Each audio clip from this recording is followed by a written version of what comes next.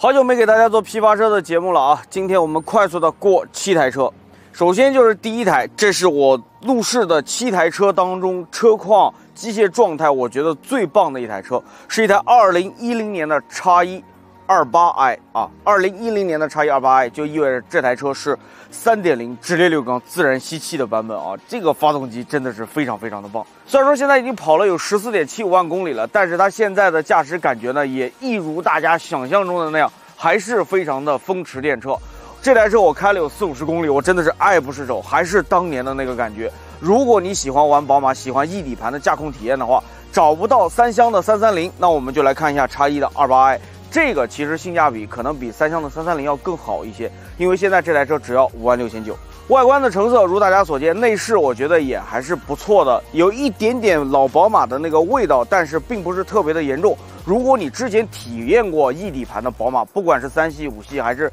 叉一、叉三也好，呃，这个味道应该是没有什么太大的问题的。车况方面大家也不用太担心，结构上是没有什么太大的问题的，大家可以放心买。看完了老家伙，我们再来看看新车子啊，这是二零一八年上牌的思域，现在只跑了三点四三万公里，配置呢是一六款的。二二零 Turbo 尊贵版，大家知道，二零一六款出来之后呢，思域有很长时间没有更新过了，所以可能要到一九年，我们都能买到二零一六款的思域。这台车各方各面都没有什么太大的问题啊，除了这个机盖现在稍微有点脏之外啊，各方面我觉得都是非常令人满意的。内饰的状态更是无话可说，才三万多公里嘛，对吧？之所以这台车能进批发区，主要是前车主干了一件可能让他非常后悔的事情，就是说他拿这个车偷过一次摩托车。因为拖了这个摩托车之后啊，它的后面的梁头呢有一点点轻微的变形，大家可以看图片啊，这么轻微的一个变形，说句实在话，不太可能是撞击造成的，因为撞击肯定会造成更大的、更严重的这样的一个变形。这么小的一个东西，这么小的一个变形，真的就只是某个巨大的力短时间施加上去导致的。其实这样的情况也就是在本田这里会出现啊。如果说你是个德系车，你是个美系车，不要说是拖个普通的摩托车了，你就拖个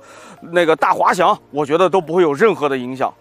而这样的一个行为呢，就让我们这台车价格比正常的思域要低个一万块钱左右。目前它的售价呢只有八点八九万啊，八点八九万可以买到一台三万多公里的准新的思域，只是车况上有那么一点点小小的瑕疵，所以我觉得车主可能会比较的后悔啊，因为这一万块钱跟正常行情的一万块钱的一个价格差，足够他拿货拉拉拖着这台摩托车绕中国一圈了。如果说刚才的思域你觉得价格稍微有点高，然后它的这个动力我也希望能够更强一些，那么我推荐你可以看一下这台 ATS，这个是不加长的，是进口版的，算是最早的一批车型。然后它的车况呢，主要是这里啊，左前大灯、左前叶子板，然后左边的减震器，还有左边的下托臂，这个都是更换过的。也就是说，它左边其实是有一个稍微伤到里面一点的这样的一个撞击，但是它前面还有说纵梁这一块都是没有什么太大的问题。总体的车况我觉得还是可以接受的，然后这台车是二零一四年上牌，现在的里程数是十一点八万公里，呃，里程再加上这样的一个撞击，所以它也沦落到我们批发区里面来了。它现在的价格呢是七万四千九，这个价格不敢说是全国最低价啊，但是也是比较低的一个位置了，可能比你能在各种稀奇古怪的地方看到各种稀奇古怪的 ATS-L 稍微贵了那么一两千块钱，但真的也就是一两千块钱啊。机械状态还有整体的车况都是透明的，都是有保障的。我推荐你选这个车。再来个十一万多的宝马三系啊，这台车是二零一五款的超越时尚型，算是当年比较跑量的一个车型。呃，车子也是 N 二零发动机的最后一批啊。它的车况主要是大灯，然后是水箱框架的上半截没有全换掉，然后就是前面的防撞梁换掉了，也就是说它应该是一个前面的一个小追尾的事故。车子是一五年上牌，现在跑了十二点四万公里，目前的价格，准确的价格是十一点五九万。这个呢，应该算是同年份同配置的三系当中的一个中等偏下的一个位置，是比较靠下的啊。距离行情最底部呢，可能有个呃五千块钱左右的一个价格差，但是我觉得也是可以忽略不计的一个状态。呃，整体的这种驾驶感受还是不错的。十二万公里对于 N 二零加八 AT 的这样的一个动力总成来讲。啊，小意思，没有任何的问题。底盘的状态，我觉得也是没有什么太大的毛病的。即便是将来再开个五万公里，你觉得比较松散了啊，轴承也可能下课了。这个时候，我们花个一两千、两三千块钱把这些东西换换，甚至说我们把所有的底盘件都换掉，也就是在五千块钱左右就可以全部搞定了。那个时候的三系，哎，其实又可以焕发第二春了。我周围的同事也好，还有一些客户也好，他们都开。这种三系 F 三五啊或者 F 三零的车型都能开到二十几万公里，只要保养到位，依然是一个健步如飞的状态，依然是非常犀利的操控。刚才看的都是大几万的车型啊，现在我们来看个小几万的，这台克鲁兹，三万块钱都不到啊，只要你两万五千九百块。它是二零一三年上牌的二零一三款 S L 天地 A T，这是一台自动挡的车子，然后现在跑的里程数很低啊，只有五点九万公里。这个里程数大家不要怀疑，因为你开过它，你就知道它的整体的状态是非常非常好的。这不可能是一台里程很高的车型，它的底盘反馈非常的给力，动力响应也非常的给力，换挡的感觉也非常的棒，就是一台里程不多的这种车该有的样子。它现在最大的一个瑕疵呢，就是这里啊，也是克鲁兹的一个通病，就是它的这个方向盘磨得有点发毛了。之前我们有过一些十万多公里的、十五万公里左右的这个克鲁兹啊，两边都发毛了。但是它现在只有说右手握把处，大概是呃九点钟的这个位置，呃三点钟或者四点钟的这个位置会有一些发毛啊。如果说里程很高的话，这个发毛可能不止这么一点点的地方。而且大家也看到了啊，前车主都是带套使用，所以说它的座椅的成色，还有其他地方的一些成色都维持的很不错。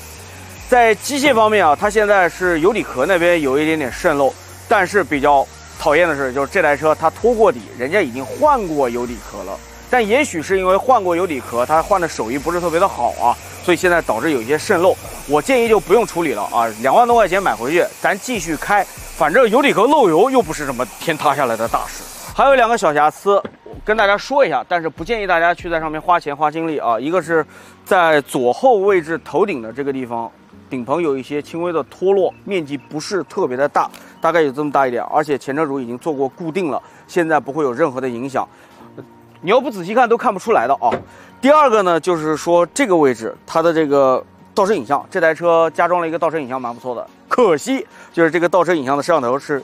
冲地打的啊，只能看到这么一点点的区域。这我想去调节一下它的这个角度，但发现它是固定死的。前车主他装了这个倒车影像，就是为了看保险杠正下方有什么东西，也搞不懂他这是为什么啊。不过还好，这个几个雷达现在工作状态都很不错啊。我们靠倒车雷达也可以把这个车停得很好。两万多的车子，如果大家觉得还是比较贵的话，那么我们可以看一万左右的车啊。这台凯越只要一万一千块钱，它是二零零九年上牌，但是里程现在只有十一点三八万公里。对于一台凯越来讲，这样的使用强度并不算高啊。车子配置是一点六 LE AT，人家是自动挡，最大的优点已经具备了，对吧？我们一万块钱买个代步车。还是个自动挡，这个就很幸福了，对不对？而它的车况方面最大的问题就是说，它前面的水箱框架换过，然后前挡风玻璃这换过。故障方面呢，哎，大家看到了啊，就是我们这个副驾驶的玻璃升降有一点问题，这个要修一下。再然后就是说顶棚有些脱落，它的气门室盖还有油底壳这边有一些轻微的渗油，这个都没有什么太大的问题，并不影响我们日常用车。哎，人家空调是好的，对于一台一万块钱的这样的练手车来讲，空调好。自动挡，我觉得无欲无求了啊，这些就够了。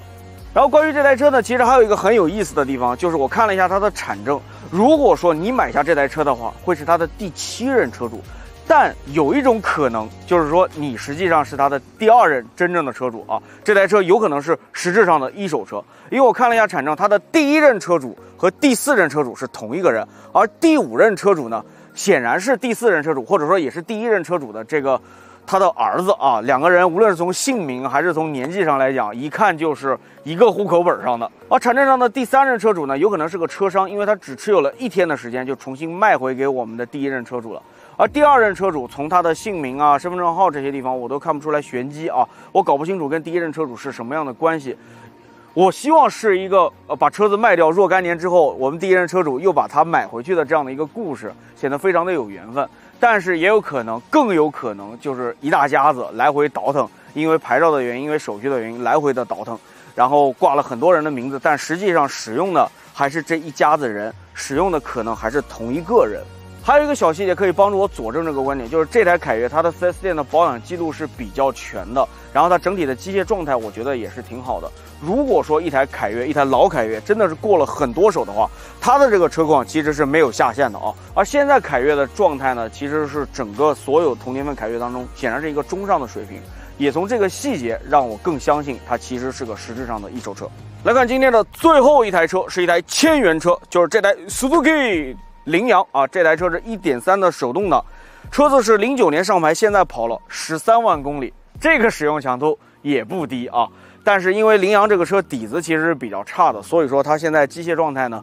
还是比较多的。具体可以问一下我们销售。但是对吧，人家便宜啊，这台车五千块钱都不要啊，四千九百块就可以把它开回家了。四千九百块买个手动挡的练手车，我觉得也还可以。哪怕是有一些机械上面的问题，但是人家空调是冷的呀，车子开起来是没有什么问题的。如果说出了更多的故障，修起来很便宜，不修只要能动，我觉得也是可以接受的。开个一年两年，手艺练好了，然后这个车报废一下，也能拿个一两千块钱回来。所以你的这个综合的使用成本是极低的啊，几乎低到忽略不计。咱们这停车场，不要说自营车了，就是咱们批发区的这些车子，随便拿到手一台车，开个一年，每年的这个贬损可能都要比这个车来的高。哦，对了，最后再说一个让二手车老玩家都很兴奋的东西，就是这台小羚羊，人家还是一手车。